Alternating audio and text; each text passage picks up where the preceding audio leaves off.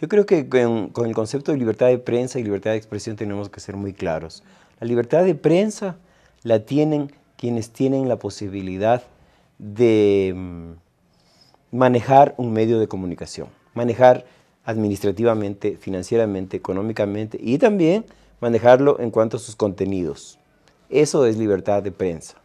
Libertad de expresión es un concepto mucho más amplio.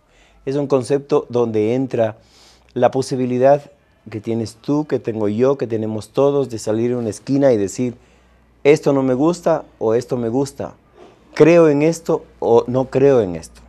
Entonces la libertad de expresión es un concepto mucho más amplio, que yo sí creo que hay en el Ecuador.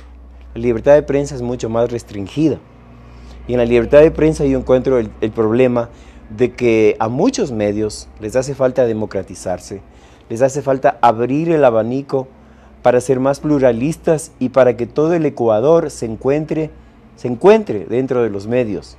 Un gran dramaturgo norteamericano, Arthur Miller, decía que un medio de comunicación es una nación hablándose a sí misma.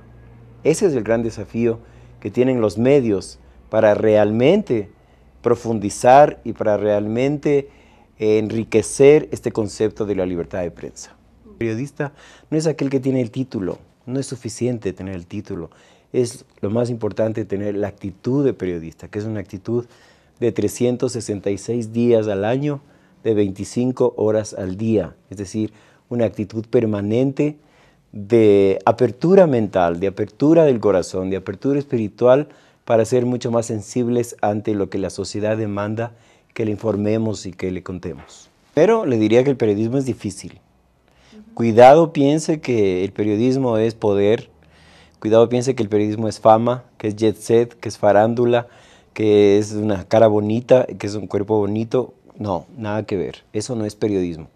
Podrán creer muchos que eso es periodismo, pero no lo es. Periodismo primero es servicio a la sociedad.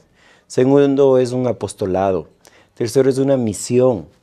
Cuarto es saber cómo ser útil entonces, el periodismo es bastante complejo, es difícil, es una profesión ingrata, es una profesión que a veces eh, no te deja satisfacciones, que más bien te deja sufrimientos, que te deja preocupaciones.